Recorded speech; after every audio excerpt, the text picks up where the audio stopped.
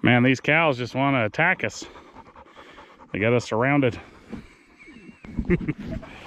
uh, well, we're back to the place we've been before.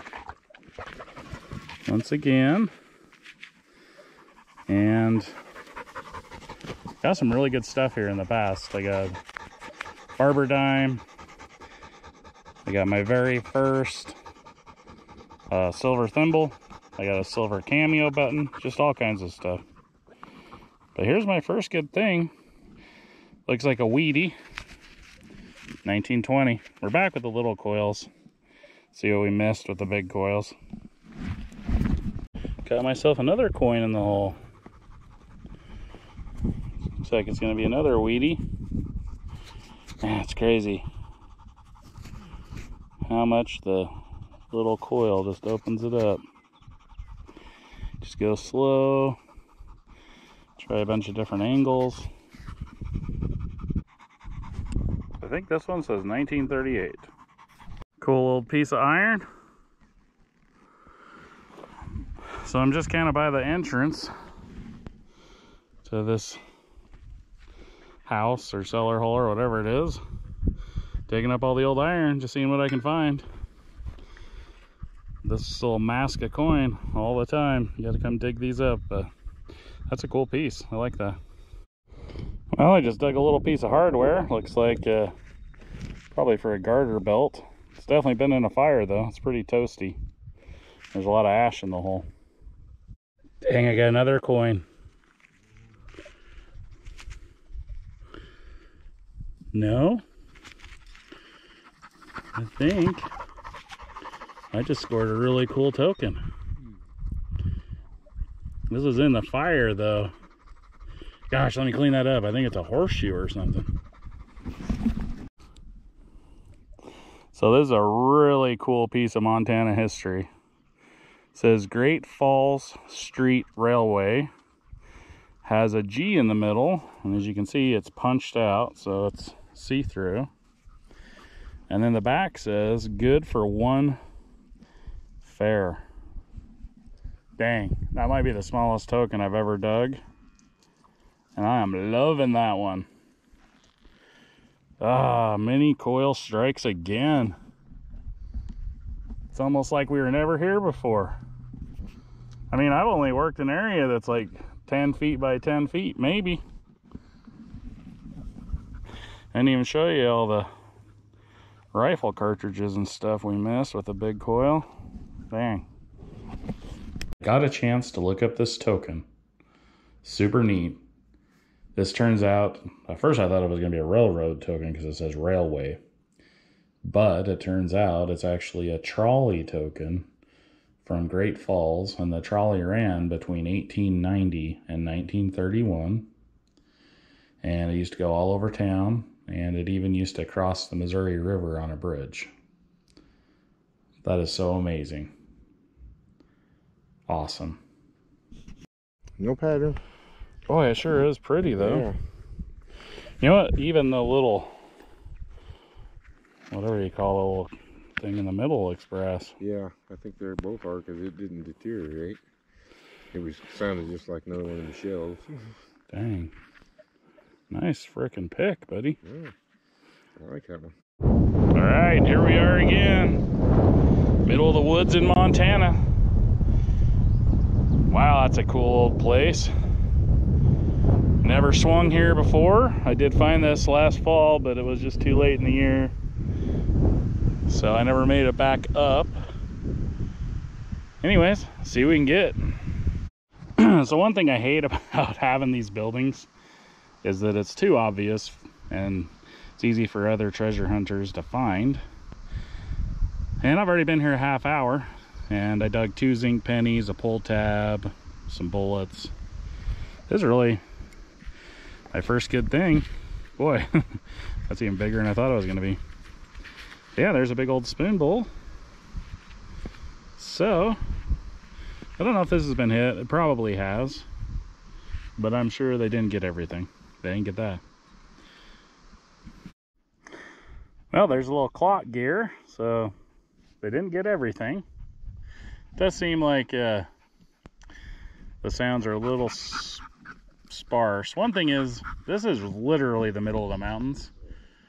And I'm wondering if this was just like summer housing for, you know, herders. So I don't know. Maybe there's a little bit less stuff here because they were only here a couple months a year. Still during the day of the week. Add to my collection. Awesome. The gears are getting bigger. Look at that, a knife blade. So I got the spoon, the knife. Now I just need the fork. Dinwiddie thinks that's the last Detectorist shovel. It's early though. I mean, that's... They died here on the mountain. I don't know. I think that's that's old actually. Yeah. I don't think that's the Detectorist shovel.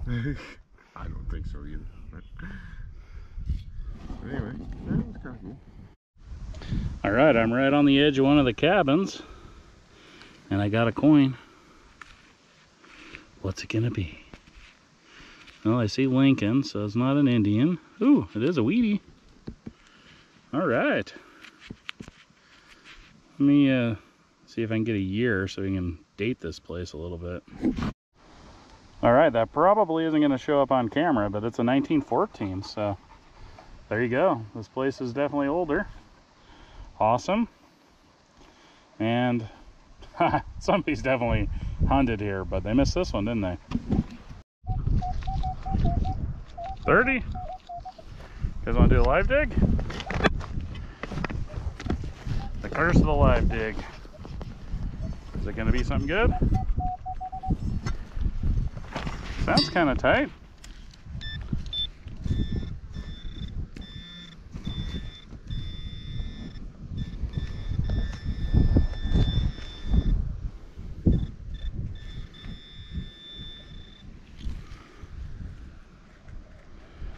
What is it? I don't know, some big old piece of brass. Well, I got a couple gears I didn't show you. So this is a pocket watch back. Looks like it was plated at one point. Awesome. Let's try another live dig. This one's a 26. Sounds a little big though.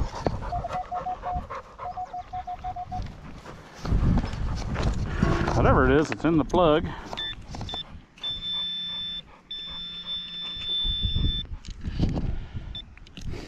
It's another one of those things.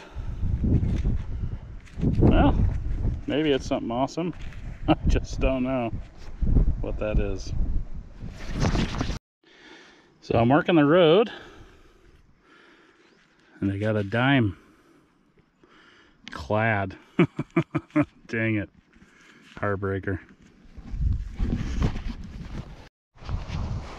we were just talking about how we haven't got a button or anything. There we go. Lee did it.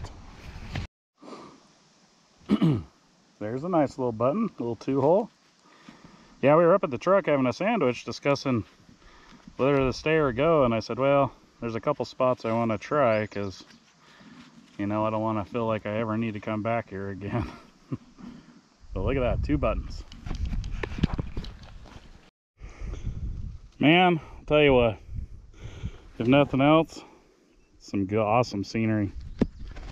You know, a little outhouse, cellar hole. This place is cool. Dinwiddie just said he had like four horseshoes. Boom. There's mine. Oh man, I got a coin. What do we got? Oh, it's a wheatie again. Looks like it's a 1919. Yeah, I've actually dug several of these. They say like wire fastener or something on them. This one here. Now that one's pretty. What does that say? Know. I can't read it. So it says the Underhills Union Made. The weird thing is, And we found a few general service buttons that are on a ring like that. So somebody liked this button enough, I guess, to have it as a necklace.